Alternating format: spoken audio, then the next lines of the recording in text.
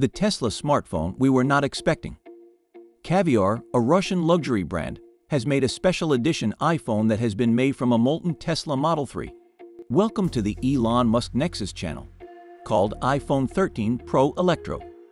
Only 99 phones will be made, priced at $6,760. Caviar's founder, Sergey Kidov, has the following to say about their new products.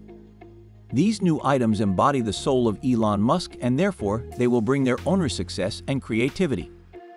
Caviar's new line of products is inspired by the outline of Tesla cars and the copper alloy found in electric car batteries.